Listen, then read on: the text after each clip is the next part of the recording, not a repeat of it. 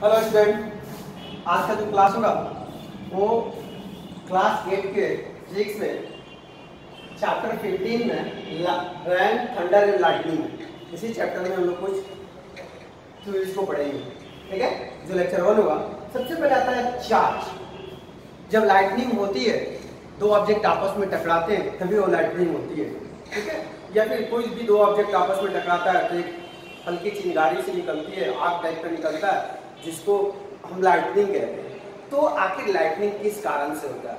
तो लाइटनिंग जो होता है, वो चार्ज के आपस में अट्रैक्शन या रिपल्सन के कारण होता है, टकराने से होता है। तो सबसे पहले हम लोग इस चार्ज समझेंगे कि चार्ज होता क्या है। उन्होंने लिखा कि चार्ज चार्ज को ही इलेक्ट्रिक चार्ज ही बुलाया जाता है।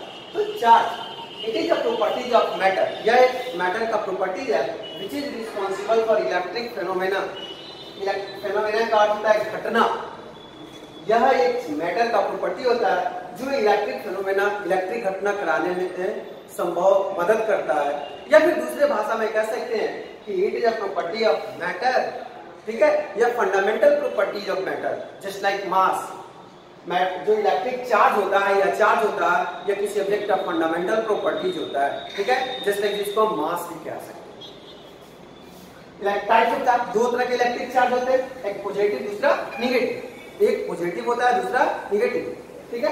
अब चार्ज जो पॉजिटिव और निगेटिव होता है, उसका कुछ ना, हर ऑब्जेक्ट का कुछ ना कुछ प्रॉपर्टीज़ होता है, कुछ ना कुछ गुण होता है, कुछ ना कुछ अवगुण होता है, इसका गुण लिखेंगे। तो लिखे the important property of charge are first like charge like charge या इसी को बोलते हैं सेम लाइक को क्या बोलते हैं? Same charge are repelled to each other. Are repelled to each other.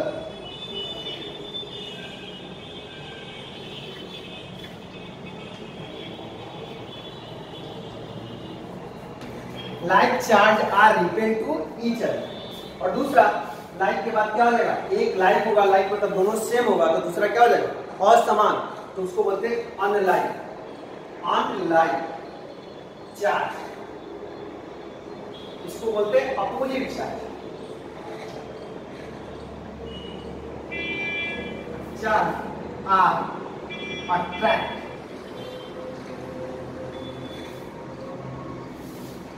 To teacher मतलब कि मान लेते ये दोनों पॉजिटिव पॉजिटिव एक दूसरे को क्या करेगा? रिपेल करेगा। इधर धक्का देगा, इधर धक्का या फिर दोनों निगेटिव चार्ज है ठीक है? दोनों क्या है? निगेटिव चार्ज है इधर धक्का देगा इधर धक्का। जैसे एक निगेटिव और दूसरा एक क्या जाएगा? पॉजिटिव एक इधर जाएगा एक, एक दूसरे को अट्रैक्ट करेगा। मतलब आपको पता है एनर्जी जो लॉस होती है हायर कंसंट्रेशन से लोअर कंसंट्रेशन की तरफ़ जाती है। तो इसमें दोनों हायर है इसलिए अपने अगेंस्ट करेगा। ये दोनों हायर है अपने अगेंस्ट करेगा। कभी भी एनर्जी लोअर टू लोअर नहीं होता और हायर टू हायर नहीं होता। जब भी होगा तो हायर टू लोअर तो अब ये लोअर और ये हायर तो एक दूसरे को क्या करेगा? अट्रैक्ट करेगा. और फिर जब दोनों सेम होगा तो एक दूसरे को क्या करेगा? रिपेल करेगा. तो ये लिखे लाइक चार्ज या same charge are repel to each other और दूसरा अनलाइक चार्ज या opposite charge are attract to कोई प्रॉब्लम लिखिए इसको.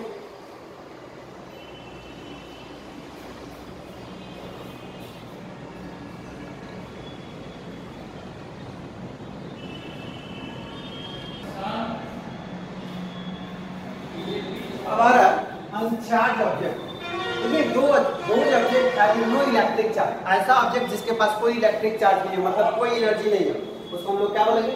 अनचार्ज ऑब्जेक्ट ठीक है? चार्ज का अर्थ हुआ एनर्जी और अनचार्ज का अर्थ हुआ नो एनर्जी दूसरा चार्ज ऑब्जेक्ट देखिए, दो object have electric charge on it मतलब जिस ऑब्जेक्ट में इलेक्ट्रिक चार्ज हो मतलब कि एनर्जी अवेलेबल हो दैट इज़ कॉल्ड चार्ज ठीक है? जैसे आप खाना खाते हो, उस समय आप चार्ज रहते हो फुली आप चार्ज है। मतलब कि आपके पास एनर्जी अभी स्टोर है। धीरे धीरे टाइम बीतता जाता है दो चार घंटे के बाद आपकी एनर्जी लॉस हो जाती है, आप भी डिस्चार्ज हो जाते हो तो उस समय आपको बोला जाएगा uncharge object uncharge body correct तीसरा इलेक्ट्रोस्कोप तो the electro electric charge on object can be detect ऐसा ऑब्जेक्ट ऐसा इंस्ट्रूमेंट जिससे किसी ऑब्जेक्ट पे इलेक्ट्रिक चार्ज को डिटेक्ट किया जाए दैट इज़ कॉल्ड इलेक्ट्रोस्कोप मतलब जिस ऑब्जेक्ट से, जिस मशीन से, जिस इंस्ट्रूमेंट से किसी बॉडी पे चार्ज फाइंड आउट किया जाए मेजर किया जाए डिटेक्ट किया जाए, उसको बोलेंगे इलेक्ट्रोस्कोप अगला पॉइंट है इलेक्ट्रिक डिस्चार्ज मतलब passage of electric current in air due to movement of electric charge जब हवा पास करेगा तो उसमें जो होगा इलेक्ट्रिक चार्ज मूवमेंट करेगा। ठीक है? इसी प्रोसेस को हम लोग बोलेंगे इलेक्ट्रिक डिस्चार्ज जैसे हवा या फिर आप मोबाइल यूज़ करते हो, थोड़ी देर के बाद वो डिस्चार्ज हो है उसका जो एनर्जी है पावर है, वो खत्म हो जाता है, धीरे धीरे डिस्ट्रॉय हो जाता है, दूसरे पावर में कन्वर्ट हो जाता है, उसको हम लोग बोलेंगे इलेक्ट्रिक डिस्चार्ज ठीक है? ये अगला पॉइंट हम लोग देखेंगे earthing the process of transferring an electric charge from a charge object to earth. मतलब यह एक प्रोसेस है, जिसमें चार्ज ट्रांसफ़र होता है चार्ज ऑब्जेक्ट से अर्थ में। मान लीजिए कि ये आपका चार्ज ऑब्जेक्ट है, यहाँ से अर्थ को ट्रांसफ़र किए कहा?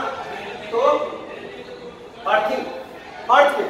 दैट इज़ कॉल्ड अर्थिंग मतलब आप घर से एक जब घर का एक वायरिंग होता है हाउस का वायरिंग होता है तो एक अर्थिंग लाकर मेन स्विच में या फिर हर जगह अटैच करते हो तो क्या होता है कि चार्ज जो होता है चार्ज ऑब्जेक्ट से जो चार सौ चालीस होते जो जो आप पोल से लेके आते हैं, वहाँ से चार्ज ट्रांसफ़र होकर कहा आता है? अर्थ में आता है। उसको भी वो क्या करता है? न्यूट्रलाइज करता है। दैट इज़ कॉल्ड क्या होता है? अर्थिंग फिर इसको बोलते हैं earthing is the provided in the wiring of house earthing कहाँ प्रोवाइड किया था? हाउस के हाउस वायरिंग में या फिर बिल्डिंग वायरिंग में to protect protect us from shock shock से बचने के लिए हम लोग घर के वायरिंग में बिल्डिंग्स के वायरिंग में क्या करते हैं? अर्थिंग को प्रोवाइड करते हैं, जिससे हम अर्थिंग से बचे सारे शॉक अर्थ अपने अंदर ले कोई दिक्कत?